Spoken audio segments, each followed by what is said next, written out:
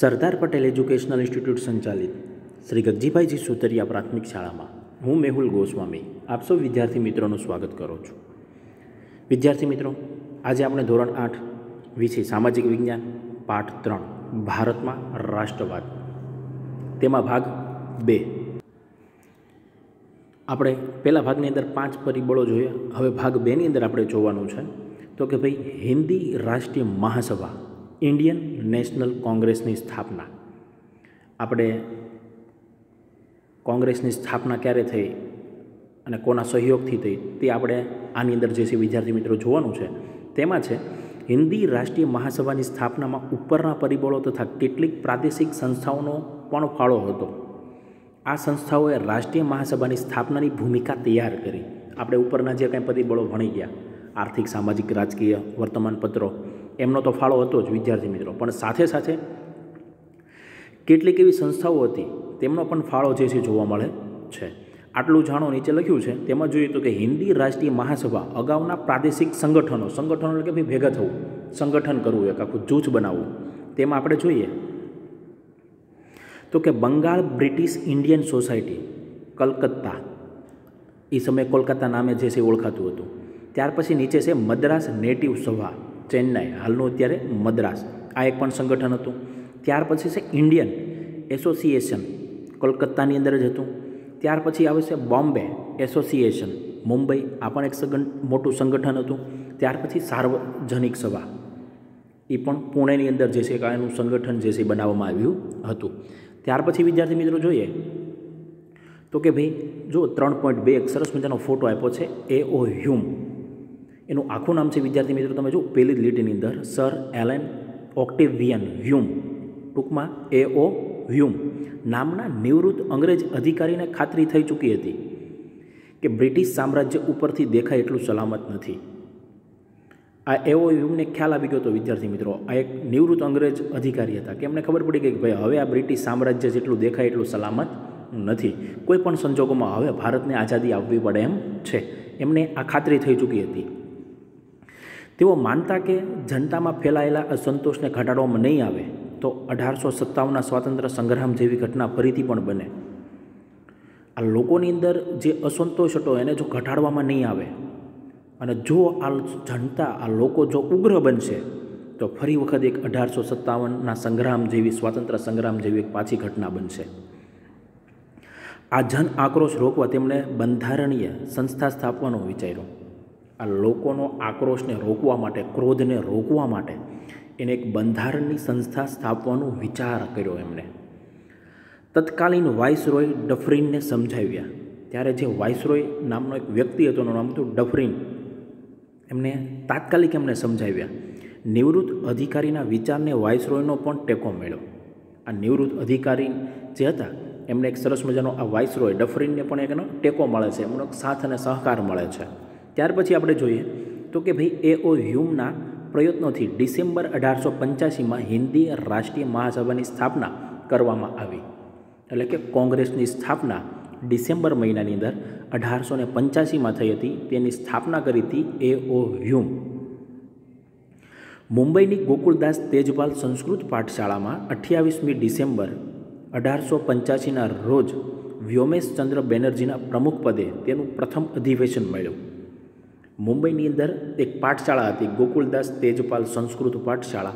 અઠ્યાવીસમી તારીખ ડિસેમ્બર મહિનો, અઢારસો પંચ્યાસીના રોજ તેના પહેલાં પ્રમુખ હતા વ્યોમેશચંદ્ર બેનર્જીના પ્રમુખ પદે તેનું પ્રથમ અધિવેશન એટલે કે સભા ભરાણી. તેમાં ભારતના જુદા જુદા પ્રદેશોમાંથી બોતેર પ્રતિનિધિઓએ હાજરી આપી હતી. ભારતના અલગ અલગ રાજ્યોમાંથી આપણે જોઈએ તો કે બોતેર પ્રતિનિધિઓએ એમની અંદર હાજરી આપી હતી. તેમાં આપણે જોઈએ તો કે દાદાભાઈ નવરોજી ગોપાલકૃષ્ણ ગોખલે, ફિરોજ શાહ મહેતા, બદરુદ્દીન તૈયબજી, કેટી તેલંગ, દિનશા વાછા વગેરે મુખ્ય આગેવાનો હતા. દેશની અનેક સમસ્યાઓ પર ચર્ચા વિચારણા થઈ. આ સભાની અંદર દેશની જે કાંઈ પણ સમસ્યાઓ હતી, તેની ઉપર ચર્ચા વિચારણા કરવામાં આવી હતી. કેમ કે એમને ખબર હતું કે હવે ધીમે ધીમે બ્રિટિશ સામ્રાજ્ય નષ્ટ તરફ જે છે જઈ રહ્યું છે, આ માટે એમણે ચર્ચા કરી. ભારતીય વિચારો એમણે રજૂ કર્યા. આ છે વ્યોમેશચંદ્ર બેનર્જી કે જે પ્રથમ કોંગ્રેસના જે પ્રમુખ હતા, તેમનો આ ફોટો છે. ત્યાર પછી વિદ્યાર્થી મિત્રો આપણે જોઈએ તો કે ભાઈ ત્રણ પોઈન્ટ ચાર. હિન્દી રાષ્ટ્રીય મહાસભા કોંગ્રેસ પ્રથમ અધિવેશન મુંબઈ અઢારસો ને પંચ્યાસીનો પહેલો ફોટો જે છે આપણને અહીંયા પાઠ્યપુસ્તકની અંદર જે છે જોવા મળે છે. વિદ્યાર્થી મિત્રો, તમે વિચારો, અઢારસો ને પંચ્યાસીમાં જ્યારે કોંગ્રેસનું કેમ કે બોલબાલા હતી અત્યારે ભાજપ સરકારે નરેન્દ્રભાઈ મોદીએ ઘણી બધી જગ્યાએ કોંગ્રેસને જે છે સત્તા ધીમે ધીમે નષ્ટ કરી રહ્યા છે. કોંગ્રેસની સ્થાપના વિદ્યાર્થી મિત્રો અઢારસો ને પંચ્યાસીમાં થઈ છે. તો કે ભાજપની સ્થાપના ક્યારે થઈ? તે વિદ્યાર્થી મિત્રો તમારે જે છે રફ નોટની અંદર આ સવાલ જે છે તમારે લખવાનો છે કે ભાજપની સ્થાપના ક્યારે થઈ હતી? ત્યાર પછી વિદ્યાર્થી મિત્રો આપણે જોઈએ આટલું જાણો. અધિવેશન, બીજું છે સ્થળ, પ્રમુખ, વર્ષ અને સભ્યો. અધિવેશન એટલે કે બીજી સભા કોલકાતાની અંદર ભરાણી તેના પ્રમુખ હતા દાદાભાઈ નવરોજી. વર્ષ હતું અઢારસો ને છ્યાસી. તેમના સભ્યો જો વધી ગયા. પહેલાં બોતેર હતા, અત્યારે ચારસો ને બત્રીસ થઈ ગયા. પછી ત્રીજું અધિવેશન ભરાણું સ્થળ હતું મદ્રાસ. તેના પ્રમુખ હતા બદરુદ્દીન તૈયબજી. વર્ષ હતું અઢારસો ને સત્યાસી. એના સભ્યો હતા છસો ને સાત સભ્યો. ધીમે ધીમે સભ્યો જે છે વિદ્યાર્થી મિત્રો વધતા જાય છે. ત્યાર પછી આપણે જોઈએ મહાસભાની પ્રથમ તબક્કાની કામગીરી અઢારસો પંચ્યાસીથી ઓગણીસો ને પાંચ. મહાસભાની પ્રથમ તબક્કાની કામગીરી બંધારણીય હતી. એક બંધારણ તૈયાર કરવાની જે છે આ કામગીરી હતી. એક આખા દેશને જે છે બંધારણ આપવાની કામગીરી હતી. મહાસભાએ સરકાર સમક્ષ રાજકીય હકો, આર્થિક અને સામાજિક વિકાસ અને શૈક્ષણિક પ્રગતિ માટે કરેલી માંગણીઓને અંગ્રેજ સરકારે અવગણી હતી. આ મહાસભાએ શું કર્યું ભાઈ? તો કે સરકારની સમક્ષ, અંગ્રેજોની સમક્ષ રાજકીય હકો મેળવ્યા આર્થિક અને સામાજિક વિકાસ એમનો, શૈક્ષણિક જે છે પ્રવૃત્તિઓ ઘણી બધી એમને માંગણી કરી, પણ અંગ્રેજ સરકારે આ બધી અવગણી નાખી. તેમને માન્યતા પૂરેપૂરી મળી નહીં, એમાં અસંતોષ જોવા મળ્યો. આ માંગણીઓએ ભવિષ્યની લડત માટે મજબૂત પાયો નાખ્યો હતો અને આ માંગણી લોકોની અંદર સંતોષાણી નહીં. આ માટે શું થયું? તો કે ભાઈ, લડત માટે મજબૂત પાયો, એટલે કે લોકો જે છે ઉગ્ર બની ગયા. સરકારી નોકરીઓમાં હિન્દીઓને વધારે પ્રમાણમાં લેવા અંગ્રેજોની જે કાંઈ પણ સરકારી નોકરી હતી, એમાં આ ભારતના લોકોને વધુ પ્રમાણમાં લેવા. લશ્કરી અને મુલકી ખાતાઓમાં થતો ખર્ચ ઘટાડવો. લશ્કરની અંદર અને બાકીની જે કાંઈ પણ મુલકી જે બધી ખાતાઓ છે બધા જે લશ્કર સિવાયના ખાતાઓ છે, તેમાં ખર્ચ ઘટાડવો. ખેડૂતોને દેવામાં રાહત આપવી. ખેડૂતો ઉપર જે કાંઈ પણ કરવેરો છે, તેની અંદર થોડીક રાહત આપવી. ગૃહ ઉદ્યોગોને સજીવન કરવા. જે કાંઈ પણ ઘરે જે કાંઈ પણ ઉદ્યોગ છે, ગૃહ ઉદ્યોગ છે, તેને ફરીથી સજીવન કરવા વગેરે માંગણીઓ કરવામાં આવતી. આ બધી માંગણીઓ સરકાર સમક્ષ એટલે કે અંગ્રેજો સમક્ષ કરવામાં આવી હતી. ત્યાર પછી આપણે જોઈએ. મહાસભા દ્વારા કેન્દ્રીય તેમજ પ્રાંતીય ધારાગૃહોનો વિસ્તાર કરીને તેમાં પચાસ ટકા સભ્યો ચૂંટાયેલા રાખવા તથા કારોબારીને શક્ય તેટલી હદે ધારાસભાને જવાબદાર બનાવવી જેવા ઠરાવ પણ પસાર કરવામાં આવ્યા હતા. મહાસભાએ શું કર્યું ભાઈ? તો કે ધારાગૃહોને, એની અંદર પચાસ ટકા સભ્યો ચૂંટાયેલા રાખવાના ભાઈ. જે ચૂંટણીની અંદર વિજેતા બને તે જ રાખવાના. અને કારોબારી છે, તેમને શું કરવાનું હતું કે ધારાસભાની સાથે જવાબદારી એમને પણ મળવી જોઈએ. આવા ઘણા બધા ઠરાવો જે છે પસાર કરવામાં આવ્યા હતા. મહાસભાની રજૂઆતને લીધે સરકારે અખબારો પર નિયંત્રણો દૂર કરી વ્યક્તિ સ્વતંત્રતા, વાણી સ્વતંત્રતા આપતા કાયદાઓ પસાર કર્યા હતા. મહાસભાની રજૂઆત થયેલા અંગ્રેજ સરકારે શું કર્યું ભાઈ? તો કે ભાઈ વ્યક્તિ સ્વતંત્ર અને વાણી સ્વતંત્ર. તો કે ભાઈ આવા કાયદાઓ જે છે પસાર કર્યા હતા કે જેથી કરીને વ્યક્તિ પોતાના વિચારો રજૂ કરી શકે, પોતાની રીતે જે છે કંઈ પણ બોલી શકે, તે બધા જે છે કાયદાઓ ઘડવામાં આવ્યા હતા. મહાસભાએ શિક્ષિત વર્ગમાં રાષ્ટ્રીય ચેતના જગાવીને તેને રાજકીય તાલીમ આપી. આપણે જોઈએ જે શિક્ષિત વર્ગ હતો કે જે ભણેલો ગણેલો આખો વર્ગ હતો, એની અંદર રાષ્ટ્રીય ચેતના જગાવી.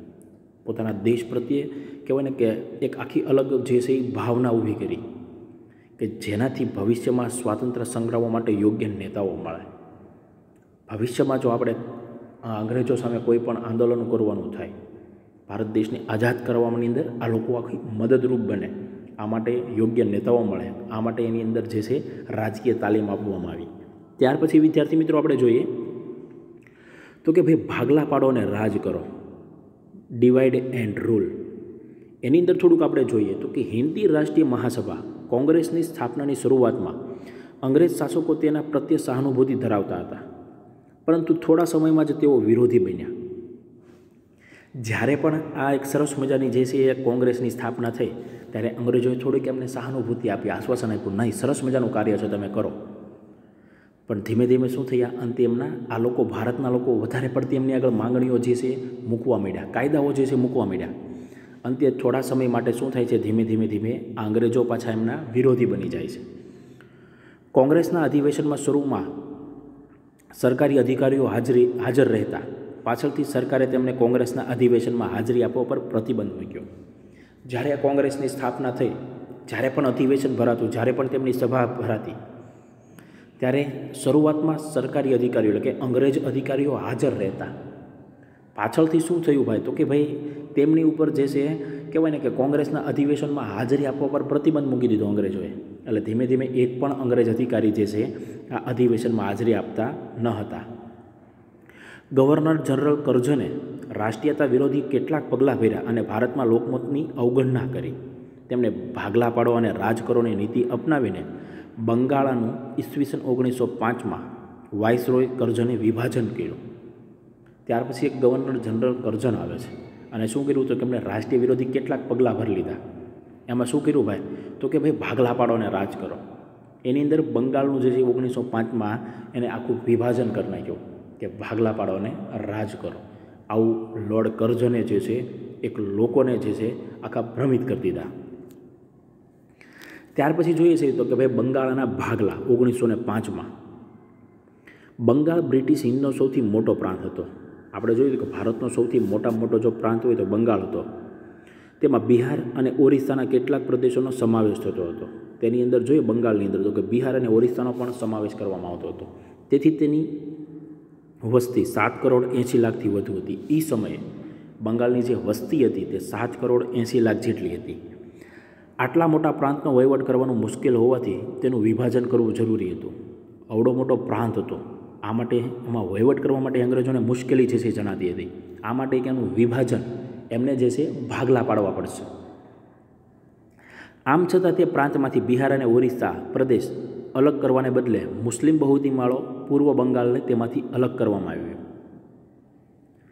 શું કર્યું તો કે ભાઈ બિહાર અને ઓરિસ્સાને અલગ કરવાના હતા? એની બદલે અંગ્રેજોએ શું કર્યું ભાઈ? તો કે જે મુસ્લિમ જે આપણે જોઈએ છીએ, તો કે ભાઈ જે આખો વિસ્તાર હતો, પૂર્વ બંગાળ, તેમને આખો અલગ કરી નાખ્યો. વિદ્યાર્થી મિત્રો એ સમયે બંગાળના બે ભાગ હતા, પશ્ચિમ બંગાળ અને પૂર્વ બંગાળ. આપણે જોઈએ છીએ, તો કે જે પશ્ચિમ બંગાળ છે તે આખો હિન્દુઓ જે છે ત્યાં રહેતા હતા. અને પૂર્વ બંગાળની અંદર મોટી બધી સંખ્યા બહુમતીવાળો હતો મુસ્લિમ લોકો. આ માટે અત્યારે પૂર્વ બંગાળને આપણે બાંગ્લાદેશ તરીકે જે છે ઓળખીએ. છીએ. બંગાળા તે સમયે સૌથી વધુ જાગૃત પ્રાંત હતો. એ સમયે સૌથી વધુ જો કોઈ પણ કમાણી કરવાવાળો દેશ હોય કે રાજ્ય હોય તો તે બંગાળ હતું. વાઇસરોય કરજન મુસ્લિમ બહુમતીને અલગ કરી હિન્દુ મુસ્લિમ વચ્ચે કોમવાદ ઊભો કરીને વધતી જતી રાજકીય જાગૃતિને નબળી પાડવા માંગતો હતો. આ જે કરજન હતો તેમના મનમાં એક પ્રશ્ન થયો કે જો આ રાજકીય જાગૃતિ જો પ્રબળ બની જાય તો આપણે ચોક્કસ અહીંથી જે છે ભાગી જવું પડશે. આ માટે એક નવું કાવતરું કર્યું એને.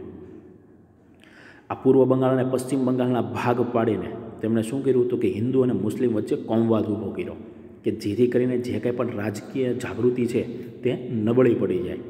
રાજકીય નેતાઓ અને લોકો સરકારનો ઈરાદો સમજી ગયા. આ બધા નેતાઓ જે કાંઈ હતા અને જે કંઈ પણ બધા લોકો હતા, પ્રજા હતી, તે આ અંગ્રેજોનો આખો ઈરાદો સમજી ગયા હતા અને તેઓએ આ યોજનાનો ઉગ્ર વિરોધ કર્યો. આ માટે આ હિન્દુ અને મુસ્લિમ એક બનીને એનામાં એકતા જે છે જોવા મળે, આ માટે જે છે આ યોજનાનો જે છે આખો વિરોધ કરે છે. ત્યાર પછી આપણે જોઈએ બંગભંગનું આંદોલન. બંગાળાની એકતાને તોડનાર આ ભાગલાનો વિરોધ કરવા બંગાળામાં જાહેર સભાઓ અને સરઘસોના કાર્યક્રમો થયા. બંગાળની આ એકતાને તોડવા માટે અને એનો જે છે ભાગલા પાડવાનો વિરોધ જે છે કરવામાં આવ્યો. આ માટે બંગાળની અંદર જાહેર સભાઓ થઈ. સરઘસો જે છે નીકળ્યા. અલગ અલગ જે છે કાર્યક્રમો જે છે આપણને જોવા મળે છે. અસંખ્ય પત્રિકાઓ વેચાય કે ભાઈ બંગાળનું ભાગલા ન પાડો. બંગભંગનું આંદોલન જે છે ના કરો. આ આંદોલનમાં બંકિમચંદ્ર ચટ્ટોપાધ્યાયની આનંદ મઠ નવલકથાનું વંદે માતરમ ગીત લડાઈનો નારો બની ગયો. આપણે જોઈએ તો કે ભાઈ આ આંદોલનની અંદર બંકિમચંદ્ર ચટ્ટોપાધ્યાયની આનંદ મઠમાંથી લેવાનાર વંદે માતરમ ગીત જે છે, આ લડાઈનું આખું નારો બની ગયું હતું. આખા દેશમાં રાષ્ટ્રીય ભાવનાનું અભૂતપૂર્વ મોજું ફરી વળ્યું. આખા દેશની અંદર આપણે જોઈએ તો કે સરસ મજાની ભાવના, રાષ્ટ્રીય એકતાની ભાવના જે છે આપણને જોવા મળતી હતી. જે દિવસે ભાગલાનો અમલ શરૂ થયો, તે દિવસ બંગાળામાં શોક દિન તરીકે ઉજવવામાં આવ્યો. જે દિવસે બંગાળાના ભાગલા વાળવાના હતા, તે દિવસને શોક દિન તરીકે ઉજવવામાં આવે છે. આખા પ્રદેશમાં હડતાલ પાડવામાં આવી. રવિન્દ્રનાથ ઠાકુર, એટલે કે ટાગોરના સૂચનથી તે દિવસને એકતા દિન તરીકે પણ ઉજવવામાં આવ્યો કે હિન્દુ અને મુસ્લિમ એક થઈને આ અંગ્રેજોનો જે છે વિરોધ કરે છે, જે બંગાળાના ભાગલા પાડવાનો હતો એમનો વિરોધ કરે છે. આ માટે આ રવિન્દ્રનાથ ટાગોર આ દિવસને એકતા દિન તરીકે પણ જે છે ઉજવે છે. ત્યાર પછી વિદ્યાર્થી મિત્રો આપણે જોઈએ તો કે ભાઈ બંકિમચંદ્ર ચટ્ટોપાધ્યાય કે જેને આપણને વંદે માતરમ ગીત આપેલું છે. ત્યાર પછી વિદ્યાર્થી મિત્રો આપણે જોઈએ સ્વદેશી આંદોલન. તો કે ભાઈ બંગભંગની લડતને ઉગ્ર અને વ્યાપક બનાવવાનું નક્કી થયું. હવે તો કે આ બંગાળના જે ભાગલા પાડવાના હતા, એમનું જે આંદોલન હતું એને ઉગ્ર બનાવવાનું નક્કી થયું. આ ચળવળના મુખ્ય ત્રણ લક્ષણો હતા. એટલે કે આ આંદોલનના મુખ્ય ત્રણ લક્ષણો જોવા મળે છે. તેમાં પહેલું લક્ષણ છે સ્વદેશી માલનો વેપાર કરવો. ભારતની અંદર જ જે વસ્તુ બને છે, તેમનો જ વેપાર કરવાનો. ઇંગ્લેન્ડથી આવતી કોઈ પણ વસ્તુ ખરીદવાની નહીં. બીજું છે વિદેશથી માલનો બહિષ્કાર કરવો. જે કાંઈ પણ ઇંગ્લેન્ડથી વસ્તુ આવે છે એનો બહિષ્કાર કરવાનો. સ્વદેશ બનો. પોતાના દેશ પ્રત્યે જે છે કહેવાય ને કે લાગણી જગાડો. જેથી કરીને અંગ્રેજો આપોઆપ જે છે પડી ભાંગશે આ માટે વિદેશી માલનો બહિષ્કાર કરવામાં આવ્યો. ત્રીજું છે રાષ્ટ્રીય શિક્ષણ લેવું. સ્વદેશી શિક્ષણ. પોતાના દેશનું શિક્ષણ લેવું. અંગ્રેજી કેળવણીનો ઘણા બધા લોકો એ સમયે વિરોધ કરેલો હતો. પણ અંતે પાછળથી આપણને જ ફાયદો થાય હવે આપણે થોડુંક વિસ્તારથી જોઈએ તો કે આ ઉદ્દેશોને હાંસલ કરવા બંગાળના લોકોએ વ્યાપક લડત ચલાવી. આ બધા ઉદ્દેશો જે છે કહેવાય ને કે ત્રણ ત્રણ લક્ષણોને હાંસલ કરવા માટે બંગાળના લોકોએ વ્યાપક લડત શરૂ કરી. એક લડત સમિતિની રચના કરવામાં આવી. એક આખી આ લડત સમિતિની રચના કરવામાં આવી. તેમાં સુરેન્દ્રનાથ બેનર્જી બિપિનચંદ્ર પાલ અને અરવિંદ ઘોષ જેવા કોંગ્રેસના આગળ પડતા નેતાઓ હતા. આ ત્રણ નેતાઓ છે જે જોવા મળતા હતા. વિદેશી કાપડ અને અન્ય ચીજવસ્તુઓ બહિષ્કાર કરી સ્વદેશી માલ વાપરવા લોકોને આગ્રહ કરવામાં આવ્યો કે ભાઈ, વિદેશી જે કાંઈ પણ કાપડ છે, જે કાંઈ પણ ચીજવસ્તુ બને છે, તેમનો તમે વિરોધ કરો. એ કોઈ પણ વસ્તુ ના ખરીદો અને ભારતની અંદર જે કાંઈ પણ છે સ્વદેશી માલ, તે લોકોને વાપરો. આ લોકોને લેવા માટે એક આગ્રહ જે છે કરવામાં આવ્યો. સ્વદેશી માલના ફાયદા સમજાવવામાં આવ્યા કે ભારતની અંદર જ બનતા આપણે જોઈએ છીએ કે જે કંઈ પણ વસ્તુ છે, ભારતની અંદર બનતું કાપડ જે છે તમે ખરીદો કે જેથી કરીને આપણને જ ફાયદો થશે. આપણા જ ભાઈઓને જે છે નોકરી, ઉદ્યોગ જે છે મળી રહેશે. વર્તમાન પત્રોમાં લખાણો, સરઘસો, જાહેર સભાઓ અને લોકગીતો દ્વારા સ્વદેશીનો પ્રચાર કરવામાં આવ્યો. સ્વદેશી માલ બનાવનારા કારખાના શરૂ થયા. ભારતની અંદર અનેક પોતાના જે છે ઉદ્યોગો જે છે શરૂ થયા. ઇંગ્લેન્ડથી આયાત થતા કાપડ, મીઠું, ખાંડ, બૂટ સિગરેટ, તમાકુ વગેરે આયાતો ઘટી. અને ભારતમાં બનેલા કાપડ અને અન્ય ચીજવસ્તુઓનું વેચાણ વધ્યું. સ્વદેશી ચળવળ બંગાળા ઉપરાંત હિંદના અન્ય પ્રાંતોમાં પણ ફેલાઈ. ઇંગ્લેન્ડથી જે કાંઈ પણ વસ્તુ આવતી હતી, કાપડથી માંડીને તમે કહો મીઠું, ખાંડ, બૂટ, સિગરેટ, તમાકુ, આ તમામ વસ્તુની આયાત ઘટી ગઈ. અને ભારતની અંદર જે કાંઈ પણ વસ્તુ બનતી હતી, તેમની માંગ જે છે વધુ ગઈ. અને સાથે સાથે આ સ્વદેશી ચળવળને લીધે માત્ર બંગાળની અંદર જ નહીં પણ ઘણા બધા રાજ્યોની અંદર, ભારતની અંદર, આ જે છે પ્રાંતોની અંદર આ આંદોલનો જે છે ફેલાઈ રહ્યા હતા. વિદ્યાર્થી મિત્રો, આપણે અહીંયા સ્વદેશી આંદોલન સુધી જે છે એ રાખીએ છીએ. સરસ રીતે આજે આપણો બીજો લેક્ચર જે છે આપણે પૂર્ણ કરીએ છીએ. વિદ્યાર્થી મિત્રો, પાઠ્યપુસ્તક સાથે રાખતા જજો અને વિડીયોને જોતા જજો અને સમજતા જજો કે જેથી કરીને તને તમને સમજવામાં ખૂબ જ સરળતા રહે. વિદ્યાર્થી મિત્રો, આપણે અહીંયા સુધી રાખીએ છીએ. જય હિન્દ, જય ભારત.